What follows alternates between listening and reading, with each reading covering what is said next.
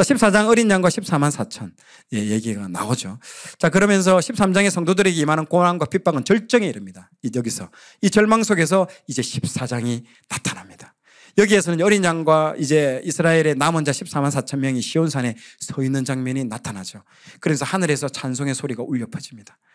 하늘에서 막 천사가 복음을 가지고 이제 날아다닙니다. 그러면서 심판의 시간이 왔으니까 하나님을 두려워하고 하나님께 영광 돌리라고 선포를 합니다. 짐승의 권세와 핍박이 절정에 이르렀을 때에 마지막입니다. 이게 맞죠. 절정에 이르렀을 때 힘 한 번 확 쓸 때에 그때 하늘에서 어린 양이 나타나고 이런 장면들이 나타납니다. 그래서 예전에도 말했죠. 이게 수레바퀴는 같이 돌아가는 겁니다. 여기가 절정을 이루면요. 여기도 절정을 이루는 겁니다. 같이 속도가 같이 수레, 역사의 수레바퀴는요. 같이 돌아갑니다. 악한 자들의 수레바퀴가 돌아가면요. 이쪽도 그 속도만큼 똑같이 돌아갑니다. 복음이 선포되고 내려오는 시는 거죠. 짐승의 왕국은 이제 무너지고 우상을 섬기는 자들은 하나님의 진노와 심판을 받게 된다. 음, 승리를 선포하는 승리의 선포에 그것들이 나타납니다. 그러면서 14장 12절에 성도들에게 주시는 위로의 메시지가 나옵니다. 하나님께서 뭘 들고 있다? 낫을 들고 있다는 거죠. 그러면서 알곡과 쭉정이의 그 추수 비유를 여러분 연상하시면 됩니다. 어, 천사도 낫을 들고 포도송이를 또한 천사가 포도를 수확합니다. 이건 뭘까요? 심판입니다. 이 포도주 틀에 피를 이제 밟아가지고 피를 묘사하는 포도주 틀로 묘사를 합니다. 위에는요 알곡으로 말하고 밑에는요 심판을 얘기합니다. 우리가 읽어내야 하는 것은 예수님을 표현하는 겁니다. 어린 양이라고 전반부는 일관되게 말하고 있는데요. 그러다가 14, 15, 16절에 뭐라고 되어 있습니까? 구름을 타고 구름 위에 앉으신이라고 표현이 되어 있습니다. 여러분 나중에 오실 때 뭘 타고 오십니까? 구름 타고 오십니다. 심판자로 오시는 거예요. 심판자로. 예전에는 뭘로 오셨습니까? 엉에 엉에 애기로 오셨는데 다시 올 때는요 백마 타고 칼을 들고 심판자로 오십니다. 여러분. 이 위험이 그냥 압도를 합니다. 그냥. 그 앞에서 달달달달 그냥 다 무릎 꿇는 거예요. 그 표현을 하고 있습니다. 또 하늘은 천국을 상징하고 있습니다. 거기에 앉았다라고 그 표현을 하는 것은 통치한다라는 거예요. 이 통치자 예수님은요, 손에 예리한 낯을 가지고 오셨다는 거죠. 심판자 예수님이 땅에 다시 온다라는 것들을 우리에게 지금 말씀해 주고 있습니다. 15, 16장에는요, 마지막 재앙과 진노의 일곱 대접이 이제 펼쳐집니다. 15장을 보면 이제 사도 요한은 하늘이 크고 신비한 마지막 재앙을 준비하는 모습을 볼 수 있습니다. 그래서 15장을 보면요. 서 있는 성도들이 찬양하는 모습을 보고요. 그리고 내 생물 중에 하나가 하나님의 진노의 대접을 일곱 천사에게 이제 나눠주는 장면들을 이제 쫙 펼쳐지고 보게 됩니다. 자, 그러면서 여기서 이제 15장 3절에 보면요. 찬양하는 구절이 잘 보십시오. 하나님의 진노와 벌써 불이 섞인 유리바다 같은 게 유리바다. 여러분 이게 홍해 옛날에 이 출애굽기가 똑같은 거예요. 그게 있는데 이제는 그쪽으로 건너가게끔 만들어 버리는 거죠. 그래서 더 이상은 이쪽에서 이쪽을 공격하지 못합니다. 하나님의 심판과 진노가 참되다라는 것을 알 수 있고요. 15장 2절에는요. 찬양하는 성도들은 짐승과 그의 우상과 그의 이름의 수를 벗어난 자들이라고 되어 있습니다. 끝까지 우상 숭배하지 않는 순교한 성도들이라는 그 얘기를 합니다. 그래서 계시록 16장으로 가면 하나님의 진노의 대접이 이 땅에 이제 쏟아지게 됩니다. 중요한 것은 일곱 재앙을 중심으로 바라보지 마시고요. 재앙의 정당성. 할 수밖에 없다는 거죠. 하나님의 의로우심 여기에 focusing을 맞춰서 봐야 됩니다. 그렇게 오잖아요. 이렇게 심판하시니 의로우시다. 7절에도 심판이 참되고 의롭다라고 세 번이나 이렇게 이 심판이 의롭다라는 거 합당하다라는 거 세 번이나 강조하고 있습니다. 이러한 끔찍한 재앙과 하나님의 진노에도 사람들은요 끝까지 회개하지 않습니다. 비방합니다. 이게 포인트예요. 중요한 포인트. 나중에 그렇게 일어납니다, 여러분. 그리고 17장, 18장에는요 큰 음녀의 심판과 멸망이 이제 나타나는 겁니다. 그래서 17장에는 큰 음녀가 심판받는 모습이 나타나고요. 성경에는 이 타락한 도시를 음녀로 이제 상징합니다. 과거에는 바벨론이었고 지금은요 로마 제국. 이때 이 쓰는 당시 로마 제국. 이와 같이 타락한 도시가 마지막 때에 또 나타날 것을 또 심판받게 된다는 거죠. 이 음녀는요 이 땅의 왕들과 함께 음행의 포도주에 취해 있습니다. 하나님을 모독하고 사치하고 우상을 섬기고 음행에 가정한 것의 어머니라라고 표현 말씀하고 있습니다. 자, 그보다 더 끔찍한 것은요. 17장 6절에 성도들의 피에 취해 있다는 거죠. 이 성도들이 흘린 순교의 피를 말하고 있습니다. 얼마나 많은 사람들이 순교를 하는지에 대해서 말을 하고 있고요. 이 여자의 정체가 이제 구절에 드러나는데 일곱 산이 등장합니다. 이 로마에 있는 일곱 동산을 말합니다. 여러분 로마의 탄생 그 보면 일곱 동산이 나옵니다. 그걸 얘기하는 거예요. 일곱 왕, 일곱, 여덟째 왕이 나오는데 이들이 구체적으로 누군지는 신경 쓰지 않아도 아무런 지장이 없습니다. 몰라도 됩니다. 중요한 것이 아니죠. 중요한 것은 이들이 어린 양을요, 대적한다라는 이 부분들을 여러분 focusing을 두고 보시면 되고요. 계시록을 이해하는데 음녀가 무엇이냐, 짐승 몰라도 됩니다. 뿔 몰라도 되고요.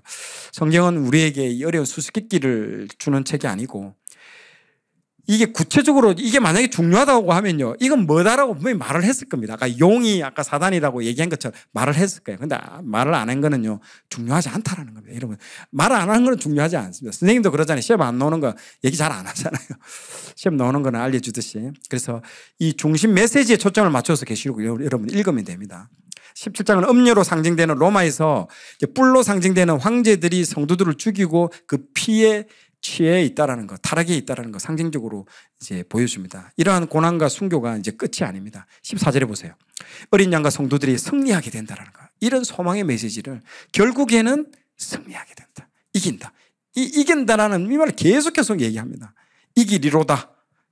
딱 이렇게 말씀하고 있습니다. 또 이들의 권세는요, 17절에 하나님께서 정한 때까지 권력을 준 것 뿐이다. 하나님께서 허용해 주셨다. 이제 그 무엇을 상징하고 저것은 무엇을 상징한다 초점을 맞추면요, 계속 딴 길로 새기 때문에 예, 계시록이 무슨 말을 하고 있는지 우리는 전혀 알지 못하게 됩니다. 자꾸 길을 잃어버리게 되는 이유가 그런 겁니다. 그래서 머리 싸매고 공부해야 될 책이 계시록이 아니고요. 그냥 그림책 보듯이 쑥쑥쑥쑥 넘기면서 보면 됩니다. 그러면서 계시록에 나오는 예수님과 소망의 메시지를요, 우리는 캐치하면 그걸로 됩니다. 자, 계속해서 18장에는 앞에서 음녀, 큰 음녀라고 했던 큰 성 바벨론이 무너져는 장면들을 이제 보여주면서 예, 딱 마무리를 짓습니다. 자, 그래서 18장 5절에 보면요. 하나님께서 큰 성 바벨론의 불의를 기억하셔서 그들이 행한 대로 그대로 갚아주셨다라고 말씀을 합니다.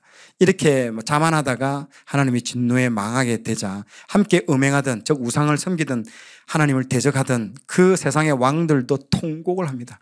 상인들도 큰 손해를 봅니다. 여기서 큰 손해를 보게 된다라고 애통하게 되고 오히려 하늘의 성도들은요 큰 게 즐거워한다라고 이제 그렇게 표현을 합니다.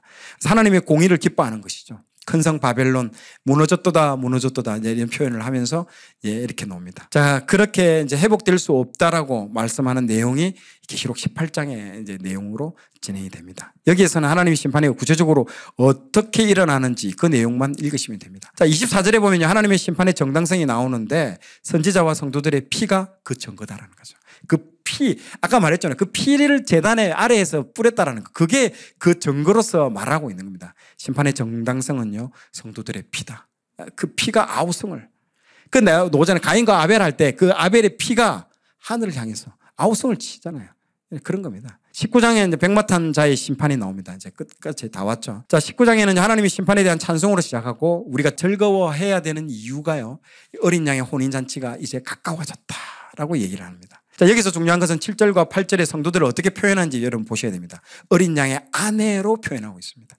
세마포 옷을 입은 성도들의 옳은 행실이다라고 얘기를 하고 믿음의 행위를 말하고 있는 것입니다. 그래서 여러분 이 야고보서에서 말하는 이 내용이 이 여기에 말하고 있습니다. 믿음에는요 행위가 따라가고 있습니다. 같이 나옵니다. 그리고 11절에 백마탄 자가 나타납니다. 바로 예수님이죠.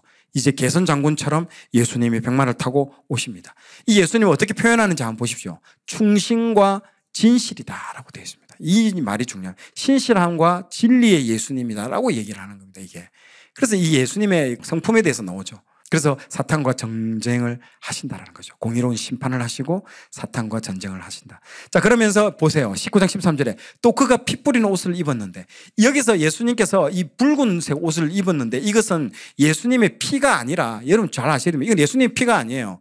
예수님이 심판받는 예수님에 의해서 심판받는 자들의 피가 튀겨가지고 예수님의 옷을 다 피로 적신 거예요. 피 뿌리는 옷이 되는 거예요. 예수님 옷에 묻어서 그런 거예요. 이게 피에 다 젖은 거예요. 예, 그게 심판의 모습을 지금 얘기해 줍니다. 다 그냥 이게 불의는 다 죽여버립니다. 15절에는 예수님의 입에서 예리한 검, 말씀이 나온다는 거죠. 말씀이 나오고 말씀으로 뭘 심판한다? 세상을 심판한다는 거예요. 여러분 진짜 말씀이 중요합니다. 말씀으로 심판하고 말씀으로 창조하고 나중에 말씀으로 심판합니다. 말씀으로 통치하고 창조하고 통치하고 심판해요. 다 세 가지가 뭐다? 말씀. 세상을 심판한다는 거죠. 철장으로 다스린다는 것들이 다 강력한 통치를 얘기하고 있습니다. 그래서 백마를 타고 오셔서 예수님께서 세상을 심판하고 예, 짐승과 거짓 선지자들을 유황불에 던져버립니다. 사탄과 예수님을 대적하던 이제 이 세상에 예수님과 성도들을 이길 것 같았지만은요, 결국 예수님과 성도들이 승리하게 된다라는 것들을 보여줍니다. 자, 오늘 내용이 좋았다면 좋아요, 구독 부탁드리겠습니다. 좋아요, 구독, 알림 설정은 콘텐츠 제작에 큰 힘이 됩니다.